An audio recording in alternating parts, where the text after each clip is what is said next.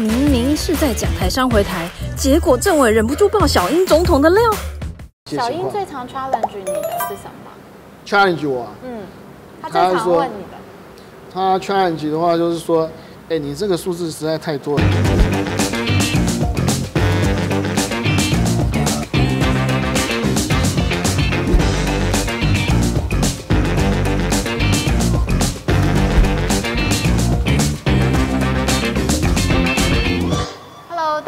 我是 Amy，这位是政务委员龚明星，大明星。嗯，最近这个好像最近你们很忙是吗？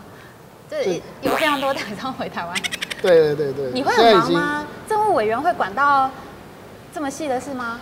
啊、因为我嗯从经济部哈调到行政院当政务委员哈，但是还是督导这个行政呃，就督导经济部的业务，所以嗯这个还是啊，因为这个台商回台的议题有时候会牵涉到跨部位的议题，所以我还得持续关心。啊，你刚才提到了投资金额已经到了呃九百多亿哈，将近呃快上千亿了。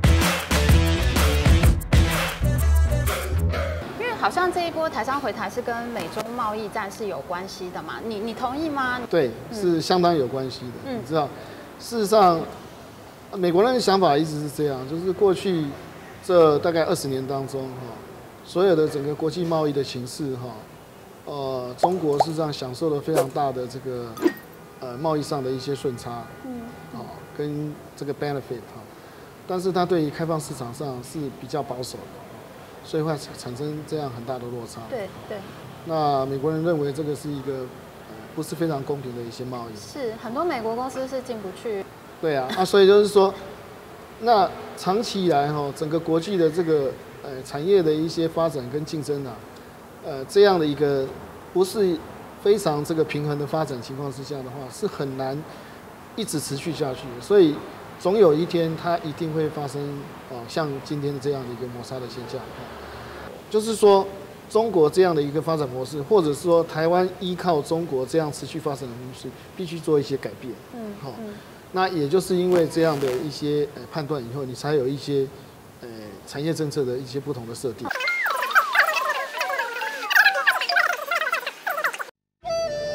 观众的声音我们听到了。总之就是美中贸易不平衡发展，一定会发生贸易摩擦，只是什么时间点会引爆无法预测。所以，二零一六年大选之前就开始做政策的准备。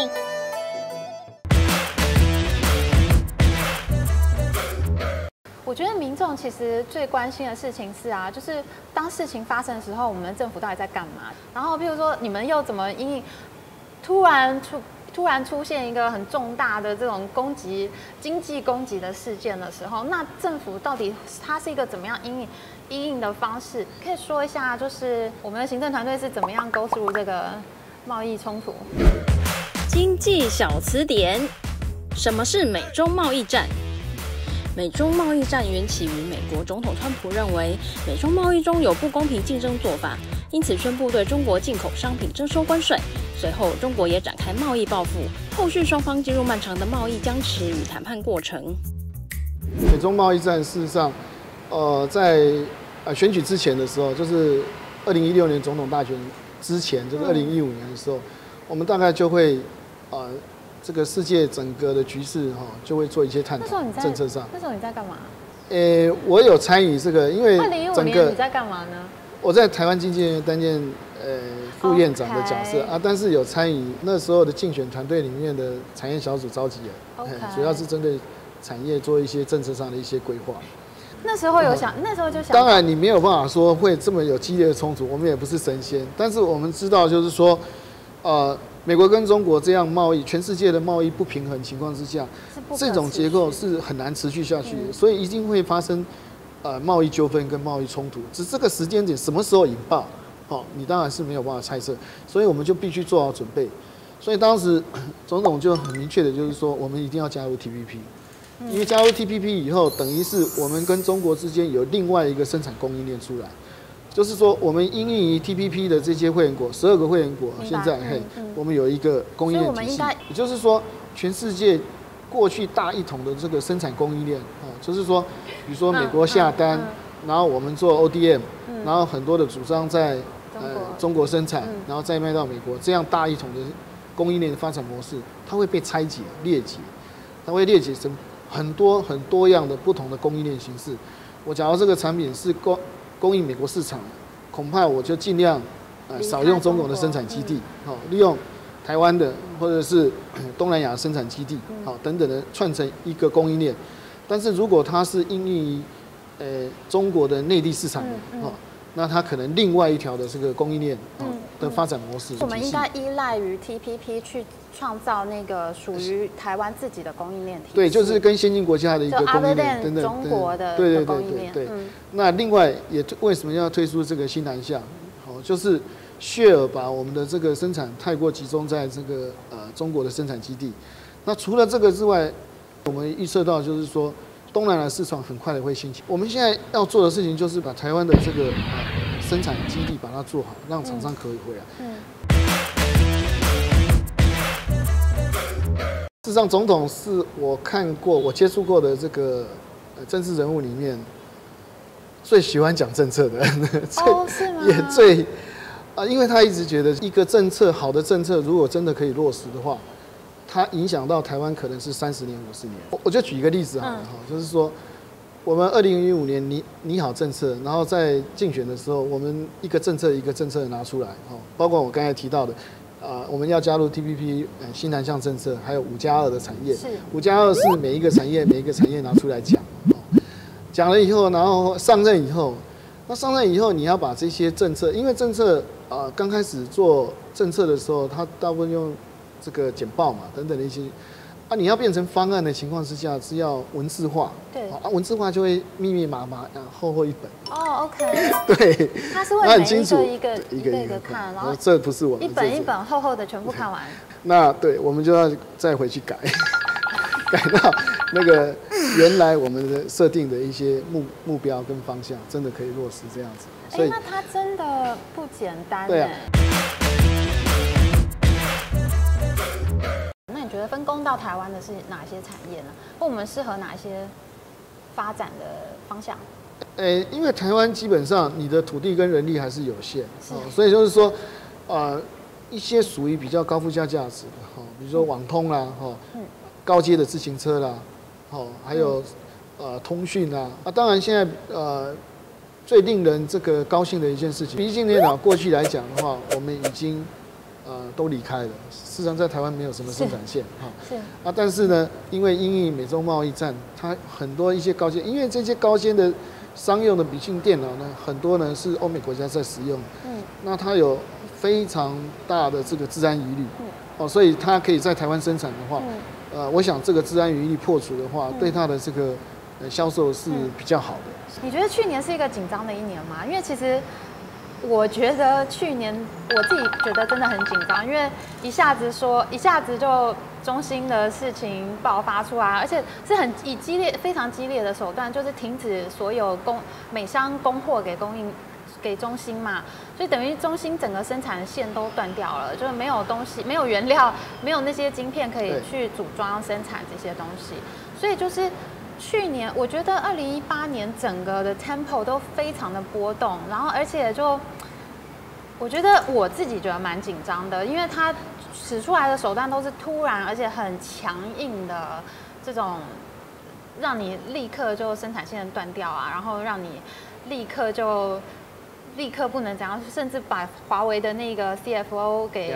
抓起来了，就是这种手段都是非常强烈的。我我不知道你们觉得紧不紧张？政府行政团队这边有什么感觉？你如果原先有设想到一些事情的情况之下，当事情来的时候，你就不会手忙脚乱。比如说中兴、华为，好，假设是美国市场某一种终端的一些产品，嗯那是透过华为跟中兴，呃，供应给他，但是很多的这个零组件供应是台商，好，那但是华为跟中兴不能够供应，但是美国的这个需求还是存在的时候，那势必他要找其他的这个供应商来供应它。嗯嗯那这个部分呢来来讲的话，台湾就可以扮演很重要的零组件，还是可以给供应它，因为我们对我们来讲非常熟，对。嗯。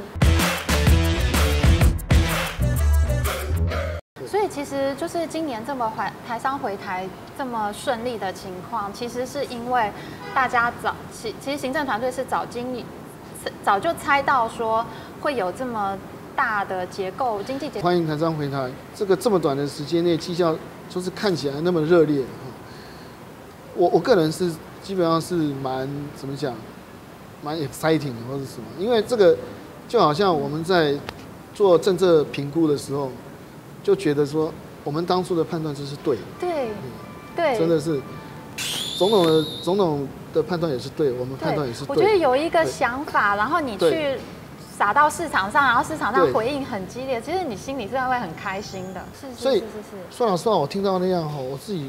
就想就很开心，非常的开心。我就是我们做的事情，真的是接地气，而且就是说厂商真的是需要，是，这真的会让我们说更更拼命。是，所以其实蛮恭喜，就是今年台台商回台这么踊跃的情况下，就非常恭喜这个。所以我我非常看好台湾未来的经济发展。是是。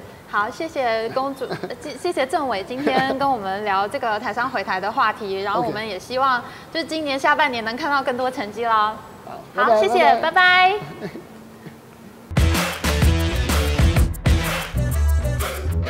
是是，所以小英是很爱讲政策的人。其实他平常跟你们开会的时候，也是像他平常在电视上那样严肃吗？呃，有时候会讲一些笑话啦，就讲。他他会对他的幕僚都很熟悉，当然还有他家里的猫啊，他会讲他们的一些小故事。他会讲猫的故事。会会会会，他他他那个想想跟阿才怎么样欺负他的那个拉布拉多犬。小英最常 challenge 你的是什么？challenge 我。嗯。他最常问你的。他 challenge 的话就是说，哎，你这个数字实在太多了，很艰深的，我看都很吃力。呃，一般民众可能看更吃力，可不可以再简化一点？这是很重要的问题。对啊，对，因为如果你的政策没有办法跟民众沟通的话，大家就不能一起协力的来推动嘛。对啊，我曾经在有一次在这个中常会的时候，我去报告政策的时候啊，啊，他就他就 com 稍微 complain 一下，也啊，后来这个隔天媒体就放大说。K 我的一些情况，对啊，对啊，对啊，啊，事实上也，我觉得也还好，没那么严重。没有啊，我觉得被 K 应该的，被大统领 K 不是应该的吗？我一天到晚 K 我的下属，嗯。呃，但是后来隔天，呃，总统。所以你觉得没被 K，然后他，然后他还安慰了你一下，所以你是不是赚到了？对。OK，还是蛮有意思。所以，所以。大家会认为就是说，呃，总统看起来是个对政策上是非常认真的，但是，呃，对于部署的关怀，他还是非常的关心。嗯嗯嗯，对。